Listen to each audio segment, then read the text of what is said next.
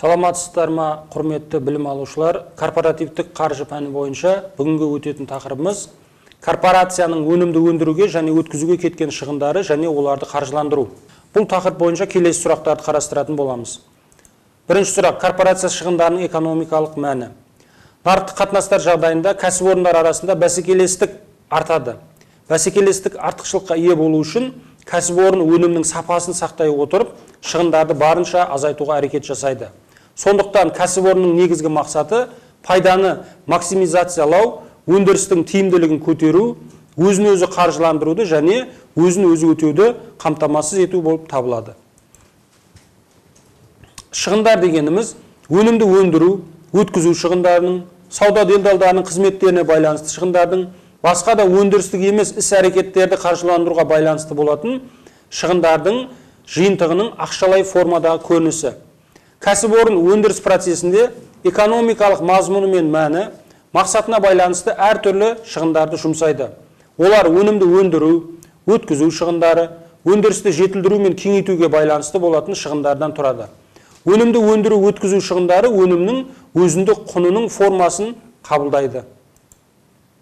Шығындарды экономикалық элементтер арқылы топтастыру барлық шығарылған өнім түрлеріне смета құру үшін өзіндік құнның төмендеуін жоспарлау үшін шығындардың құрылымын анықтау үшін айналыс құралдарын мөлшерлеу үшін қолданылады.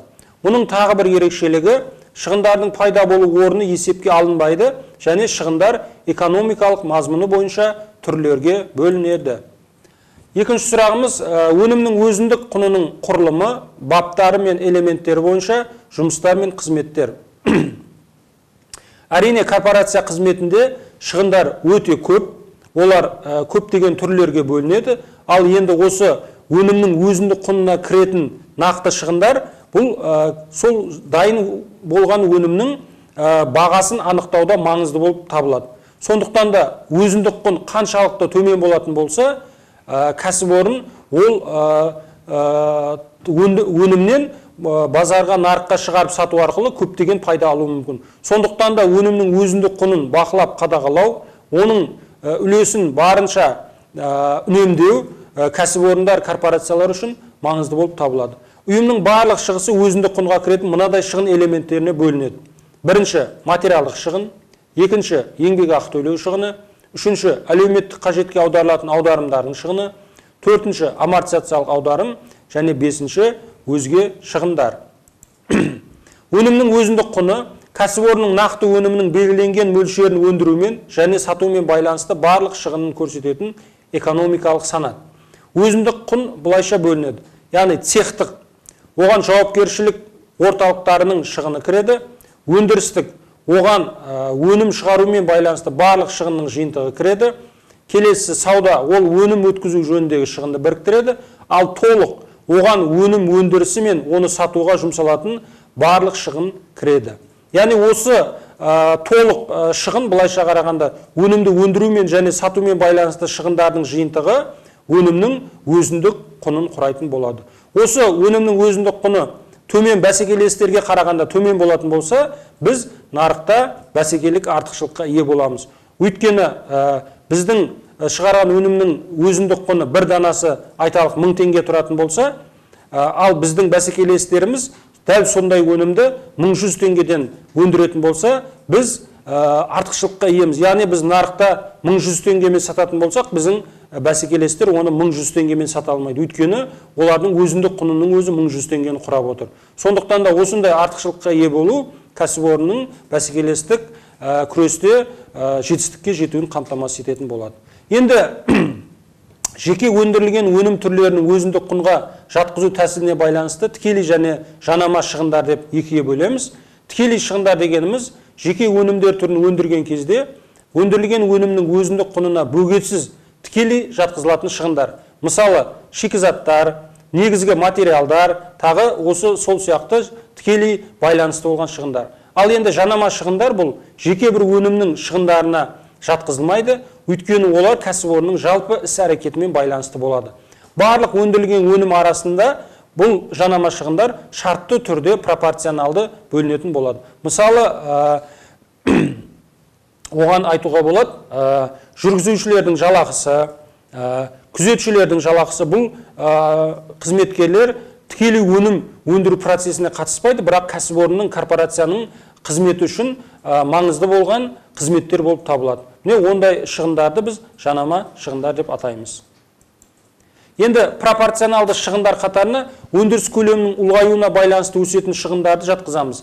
Мысалы шикізат негізгі материалдар отын шығындары технологиялық мақсатта қолданылатын энергия тағы басқалар бұл пропорционалды шығын. Яғни өнімнің өндірілетін өнімнің көлемі артқан сайын пропорционалды шығындардың да үлесі артатын болады. Ал енді пропорционалды емес шығындарға өндіріс көлемі азайған немесе көбейген кезде айтарлықтай өзгермейтін шығындарды жатқызамыз. Мысалы жарықтандыру отын шығындары құрылыс пен ғимараттардың тозу құны және тағы басқалар жатады. Шығынға жатқызылу уақытысына байланысты ағымдағы болашақ кезеңнің шығындары және алдағы шығындар болып бөлінеді. ағымдағы шығындар дегеніміз есепті кезеңде пайда болатын және есептік кезеңде өнімнің өзіндік құнына кіретін шығындар. Ал болашақ кезеңнің шығындары есептік кезеңде пайда болады бірақ өндірілген өнімнің өзіндік құнына біртіндеп келесі кезеңдерде жатқызылатын шығындар кіреді.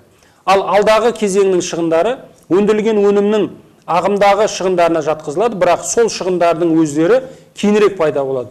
Мұндай әдістің негізгі себебі шығындарды өзіндік құнға бір қалыпты жіберу болып табылады. Мысалы жұмысшылардың демалыстарын төлеуге арналған резервтер құрылғыларға жөндеу жүргізуге байланысты резервтер және тағы басқалар жатады.